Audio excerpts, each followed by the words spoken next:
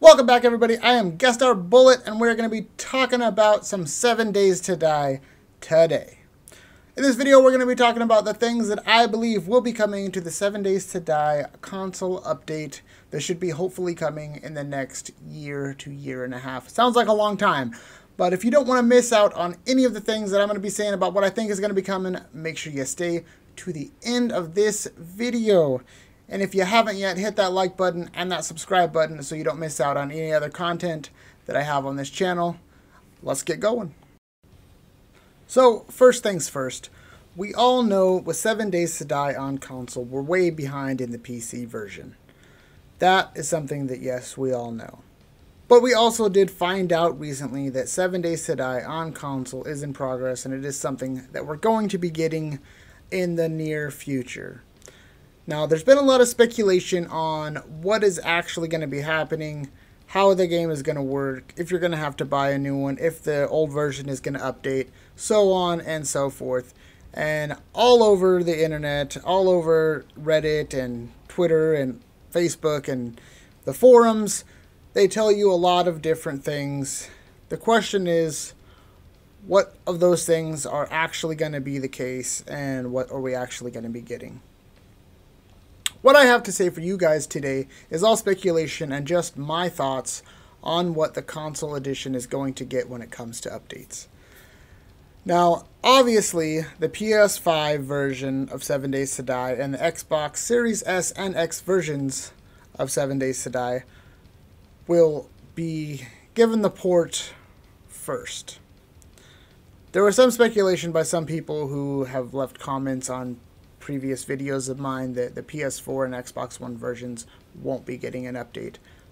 I hate to break it to those people who think that that's not happening, but I'm afraid to tell you that it is happening. PS4 and Xbox Ones are getting an update. It'll just be after it gets to the PS5 and Xbox Series S and X. That is something that the Fun Pimps have already stated that it will go to PS4 and Xbox One. But that's not what we're here to talk about. We're here to talk about what we think we're going to be getting. For me, I play on PS4. I'm not on a PS5. It is impossible to get one where I live. I've been trying to get one since they came out and they have been impossible. You can't get it. It's, you know, it's terrible. I don't know how it is for you Xbox players because I don't play Xbox myself. I haven't owned an Xbox since the original Xbox came out. But with the PS4 version, I think what they're going to have to do once PS5 is done, and they're going to do, because they want to do uh, cross platform at some point, and it's going to be once the entire thing is done for, you know, PC, PS5, Xbox Series S and X, and then down to PS4 and Xbox One. So, I think what they'll start with for the older generation consoles, the PS4 and the Xbox Ones, is they'll do slow updates which I think we'll get over, you know, a couple of months at a time. We'll get a new update. Kind of like how it was when Iron Galaxy was doing it, I believe, you know. And again, this is all just my opinion and my speculation on what I think is going to happen. But I think they'll do updates that way to where the game gets updated every couple of months until the PS4 version and the Xbox One versions have caught up to the PC, PS5, and Xbox Series S and X versions. Now, that could take a while. So, with that being said, you know, it's it's going to be a long road until that happens. But with the PS4 version, with how far it is behind now, every little tiny update that comes out, people are going to be absolutely going crazy for. And I think the first thing they're going to do, obviously, is they're going to port over um, the new textures to where it's the graphics are better. They're going to upgrade that. Uh, I believe that they're also going to do, you know, the zombie skins, things like that, where we're getting the new zombies. I think things like that are going to be the first things that come over in ports. I don't know if they'll port it exactly the way they did with, you know, the PC updates, you know, those alphas. Maybe they'll do it that way. I don't know. Um, like I said, it's all speculation, but I think that would be a smart way to do it: to start with that and then work towards bringing out um, the other, the other new things, the new um, animals, the new vehicles, the bikes, the truck thing, and the helicopter bike, whatever that is. All of those things, I think will come out after they do like a, a revitalized facelift on the graphics and things like that.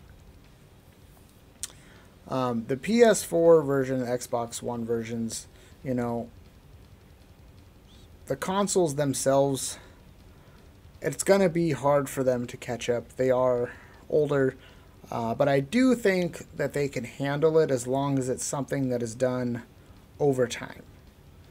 So, yes, I believe that the PS4 and Xbox One will start getting updates in the next year to year and a half but I don't think that we will be caught up to the PC version for probably two to two and a half years.